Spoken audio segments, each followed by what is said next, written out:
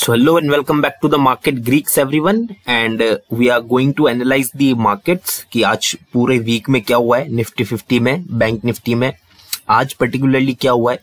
और अब क्या एक्सपेक्टेशन जो है मार्केट से आपकी और मेरी होनी चाहिए ठीक है? तो सबसे पहले तो ये वीकली कैंडल देख लेते हैं निफ्टी फिफ्टी की। ठीक है सेवनटीन मई को जो वीक स्टार्ट हुआ था उसकी कैंडल है ये। अब ये एक बिग ग्रीन कैंडल है। तो इस कैंडल को जो है मारू बोजू कैंडल कैंडल स्टिक पैटर्न के अंदर बोला जाता है। डेफिनेटली इसका पैटर्न जो सेम है उस कैंडल के जैसा, इसके अंदर कोई डाउट नहीं है। तो मारू बोजू कैंडल का जो थियरी है, वो ये है कि इस तरीके की कैंडल्स बनने के बाद जो मार्केट के अंदर बुल्स आ जाते हैं और एक बुल ट्रेंड हमें देखने को मिलता है। ठीक है? तब इसमें कोई डाउट नहीं कि कैंडल स्टिक पैटर्न वैसा ही है और ये मारू बोजू कैंडल है। पर मारू बोजू कैंडल की जो सिग्निफिकेंस है ना, वो मैक्सिमम तब होती है जब मार्केट में एक पहले डाउन ट्रेंड हो, जब प्राइजेस गिर रही हो पहले, उसके बाद इस तरीके की कैंडल फॉर्म हो तो हम देखते हैं कि एक रिवर्सल आता है। एक रिवर्सल कैंडल है। ठीक है? तो अब आप देखेंगे कि मार्केट में प्राइजेस यहाँ पर गिर रही थी। इस जगह पे कहीं पर अगर ये मारूबोजू कैंडल बनती तो डेफिनेटली एक रिवर्सल था और प्राइजेस ऊपर जाती, ज़ोर से जाती। क्योंकि इस कैंडल की सिग्निफिकेंसी टेक्निकल एनालिसिस में ऐसी ही है कि ये कैंडल बहुत स्ट्रॉन्ग बुलिश कैंडल होती है और one of the most single stick candle pattern के अंदर सबसे ज़्यादा पावरफुल रिवर्सल कैंडल है ये। पर अब यहाँ पर अगर आप देखो तो last one two three week से प्राइजेस हायर क्लोज हो रही है। यहाँ पे जो क्लोज था, यहाँ पे जो क्लोज था, यहाँ पर क्लोज जो इस क्लोज के नीचे आया तो डाउन ट्रेंड में प्राइजेस नहीं प्राइजेस गिर थोड़ी ना रही थी राइट प्राइजेस तो राइजिंग थी फिर ये मारूबोजू बनी तो अब ऐसी बात नहीं है कि इसकी सिग्निफिकेंस खत्म हो जाती है, पर कम हो जाती है डेफिनेटली इसलिए अगर एक डाउन ट्रेंड के बाद, गिरती हुई प्राइजेस के बाद अगर ये कैंडल बनती तो हम एक क्लियर कट बोलते कि अब तो प्राइजेस रिवर्स लेंगी, ऊपर जाएँगी। उतना कॉन्फिडेंसली नहीं बोल सकते, पर फिर भी अभी भी मुझे जो लगता है पर्सनली वो ये बुल्स ने तो है कंट्रोल ले लिया है। क्योंकि इस तरीके की प्राइजेस गिरने के बाद, एक रेड कैंडल बनाने के बाद, ये जो इतनी बड़ी ग्रीन कैंडल बनाई है, इसकी एक अलग ही सिग्निफिकेंस है।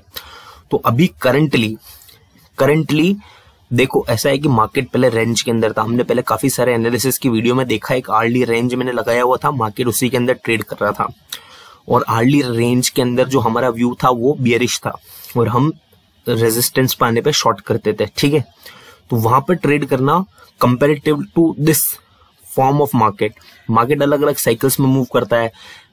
सबसे पहले ट्रॉफ आता है, फिर एक्सपांशन होता है कंसोलिडेट करता है, फिर वापस जो है डायरेक्शन डिसाइड करता है। तो पहले मार्केट जो है, आपको ध्यान होगा कि बुल फॉर्म में था, फिर मार्केट रेंज के अंदर आया, फिर मार्केट गिरा, फिर वापस मार्केट अभी रेंज के अंदर था। पिछले काफ़ी दिनों से डेली टाइम फ्रेम पर अर्ली टाइम फ्रेम पर हमने लगाई हुई थी रेंज अगर आप प्रीवियस वीडियोस चेक कर सकते हैं।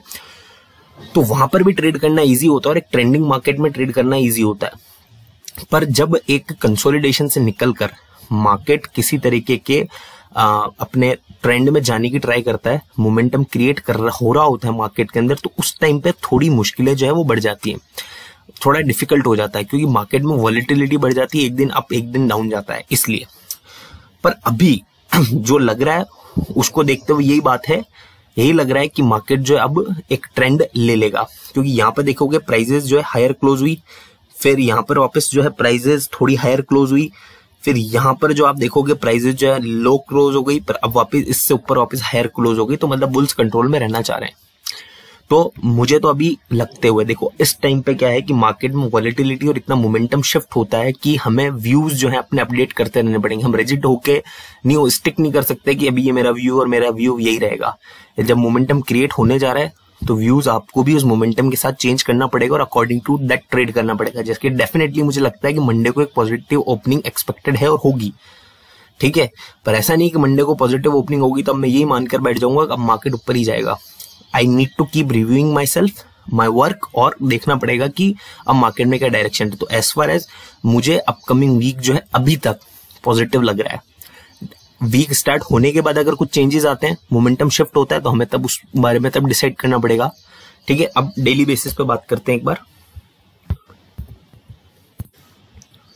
डेली बेसिस पे अगर देखोगे तो वापस एक स्ट्रॉन्ग ग्रीन कैंडल तुम्हें लास्ट देखने को मिलेगी मार्केट ने यहाँ पर जो अपने प्रीवियस रेजिस्टेंस पे सपोर्ट लिया और फिर एक ग्रीन कैंडल जो है लगा दिया।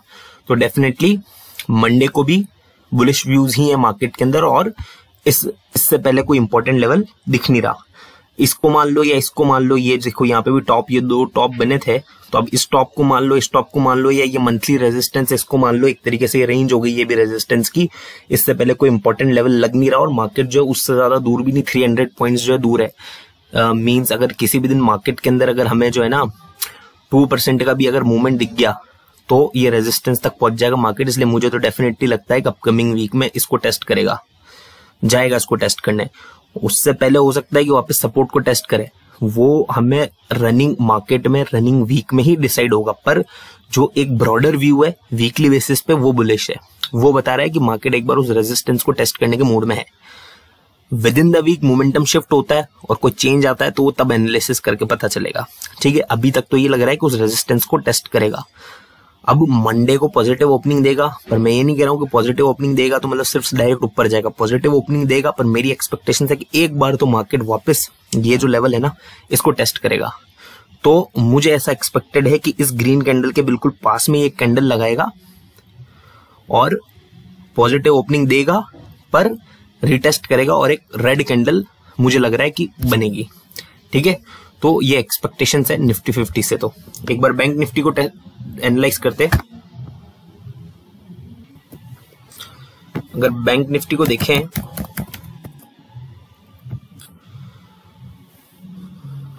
तो निफ्टी बैंक निफ्टी के अंदर अगर ये कैंडल देखोगे वीकली की तो सपोर्ट लेकर काफ़ी अच्छा कैंडल बनाया तो ये भी सेम मोमेंटम हमें जो यहाँ पर डिस्प्ले कर रहा है एज फार एज अभी तक जो दिख रहा है उससे, ठीक है? डेली टाइम फ्रेम पर लेके जाऊँ तो रेजिस्टेंस ब्रीच करके ऊपर क्लोजिंग दी और काफ़ी टाइम बाद ये देखो। इतने टाइम बाद रेजिस्टेंस के ऊपर जाकर क्लोजिंग दी है। तो पॉजिटिव ओपनिंग पर रिटेस्ट इसके अंदर भी एक्सपेक्टेड है। क्लियर कट सी बात है, अभी बुलिश है। तो अर्ली आवर्स में मंडे को लॉन्ग अपॉर्चुनिटीज़ मिलेगी और लेट आवर्स में शॉर्टिंग अपॉर्चुनिटीज़ मिलेगी क्योंकि दोनों ही अपने इन पुराने लेवल्स को टेस्ट करने वाले हैं। अभी तक जो एक्सपेक्टेड है वो यही है कि नेक्स्ट वीक में निफ्टी फिफ्टी और बैंक निफ्टी दोनों ही अपने मंथली रेजिस्टेंस को टेस्ट कर सकते हैं। तो यही एक्सपेक्टेशन है अभी तो बैंक निफ्टी से और निफ्टी फिफ्टी से। ठीक है? और अगर विद इन द वीक कुछ चेंज होगा मोमेंटम शिफ्ट होगा तो उसकी बात तब करनी पड़ेगी, उसको तब एनालाइज करना पड़ेगा। क्योंकि अभी मार्केट कंसोलिडेशन से एक ट्रेंड में जाने की ट्राई कर रहा है तो उसके बीच में जो है, हमें भी पेशेंस रखना ज़रूरी है, ठीक है? मार्केट को आप फॉलो करें मार्केट आपको फॉलो नहीं करेगा। सो आई होप सारी बात क्लियर है बैंक निफ्टी निफ्टी फिफ्टी को लेकर। So thank you so much for watching please do like this video share this video and not forget to subscribe our channel thank you so much